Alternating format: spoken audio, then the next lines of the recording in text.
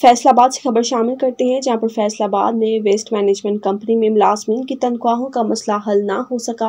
मुलाजमीन ने तनख्वाहें ताखैर से मिलने के बायस एक बार फिर से काम छोड़कर हड़ताल का ऐलान कर दिया। तफसीत के मुताबिक फैसलाबाद वेस्ट मैनेजमेंट कंपनी में सेंट्री वर्कर्स की तनख्वाहों का मसला मुस्तकिल तौर पर हल नहीं हो सका। सेंट्री वर्कर्स की जानब से तनख्वाहें ताखैर से मिलने के बायस दोबारा से काम छोड़ हड़ताल का ऐलान कर दिया गया। मुलाजमीन का कहना था कि ताखैर से तनख्वाहें मिलने के बाद मुलाजिम को हर माह हज़ारों रुपए का नुकसान होता है।